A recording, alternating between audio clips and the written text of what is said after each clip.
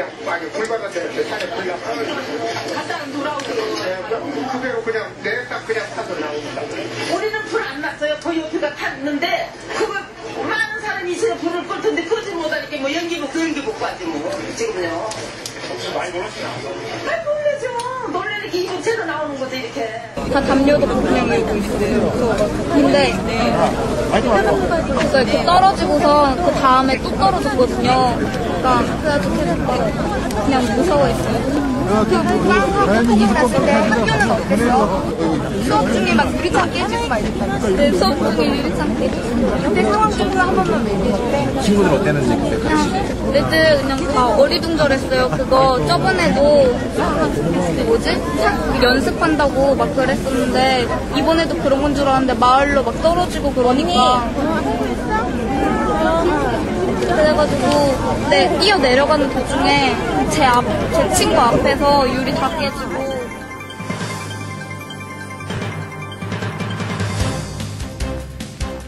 서해 연합훈련 사흘째를 맞은 오늘 이 한미 양국군은 전술기동 연습의 강도와 또 그 범위를 한 단계 확대해서 실시합니다. 네, 한미 연합군은 해상 자유공방전과 대공 방어 훈련의 규모와 범위를 오늘은 더 확대합니다. 어제까지의 대공 방어 훈련이 소규모 적기 출연에 대비한 훈련이었다면 오늘은 적기 수십 대가 동시에 출연할 경우를 대비한 훈련을 실시합니다. 1000개 이상의 공중 표적을 동시에 탐지하고 추적할 수 있는 항공모함과 이지스 구축함의 레이더 체계로 적기 편대를 조기에 식별해 진로를 통제하는 연습입니다.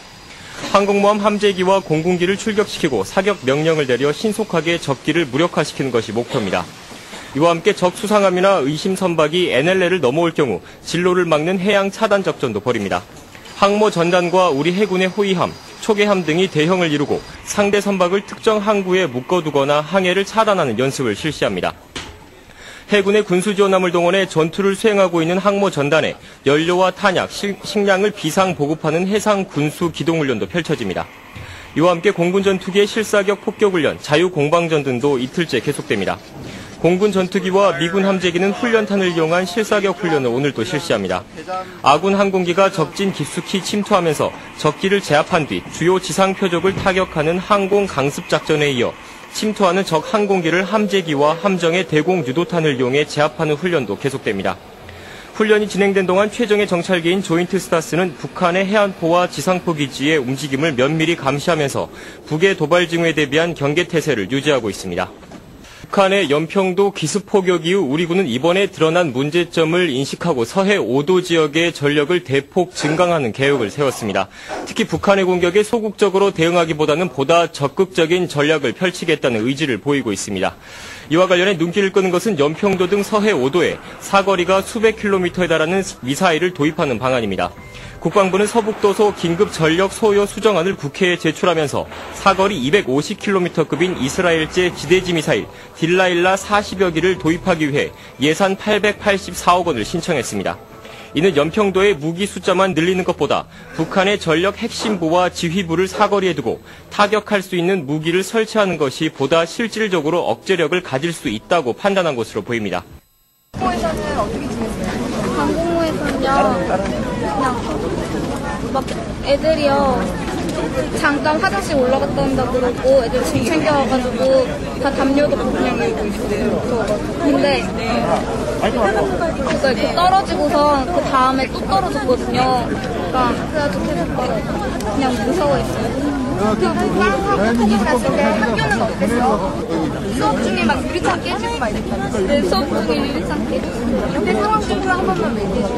친구들 어땠는지 그때 같이 애들 그냥 다 어리둥절했어요. 그거 저번에도 뭐지? 차- 연습한다고 막 그랬었는데 이번에도 그런 건 줄 알았는데 마을로 막 떨어지고 그러니까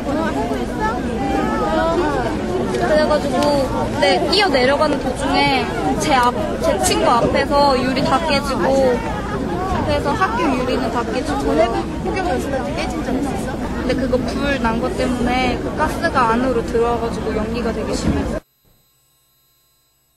연평도에서 불과 15km 거리에 있는 북한 황해남도 강령군 개머리 해안. 지난해 2월 25일 해안 앞 섬에 구축된 북한 해안포 동굴 진지를 촬영한 사진입니다. 가파른 암벽 중간에 뚫린 동굴 두 곳이 눈에 띕니다. 이번에 연평도를 공격한 북한의 해안포가 숨겨져 있는 것으로 추정됩니다. 포격 이틀 뒤인 지난 25일, 동굴과 연결된 길까지 만들어졌습니다. 섬 중턱 막사 바로 옆에도 새 동굴이 만들어졌다는 사실이 확인됩니다. 불과 21개월 사이에 해안포 진지가 새로 구축된 겁니다. 북한의 갈도와 연평도 사이 바닷길이 바로 NLL 구역입니다. 연평도 포격 사건 이후 지난 6월 서북도서 방위사령부가 창설됐습니다. 단순히 이름만 길어진 게 아니라 K9 자주포를 비롯한 첨단 전력이 대폭 증강됐습니다.